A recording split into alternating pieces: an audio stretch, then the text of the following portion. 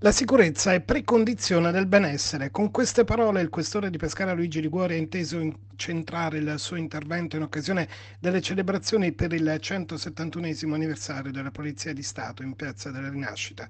Dopo la suggestiva parata degli allievi della scuola di polizia e il saluto delle autorità, l'atteso discorso di Liguori ha bilancio delle attività svolte in quest'anno, non prima di aver ringraziato tutti i suoi uomini e aver ricordato con un pizzico di commozione l'ispettore superiore Angelo Donofrio, scomparso di recente all'età di 58 anni per via di una brutta malattia. Costante anzi in aumento la presenza sul territorio anche attraverso dei servizi straordinari nei comuni della provincia, ben 16. 800 gli interventi complessivamente effettuati stabile, poco sopra i 200 il dato sugli arresti effettuati. 45 kg di stupefacente sequestrato soltanto dagli uomini del Dipartimento Antidroga, 38 invece gli agenti feriti nello svolgimento del loro dovere.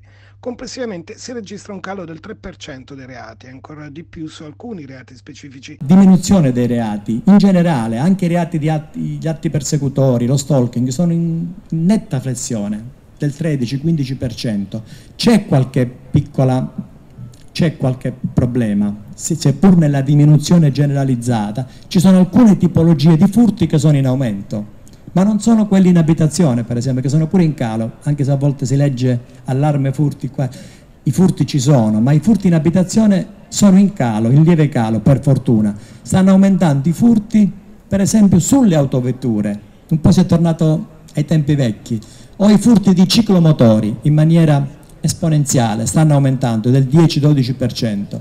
Però il bilancio è sempre positivo per noi.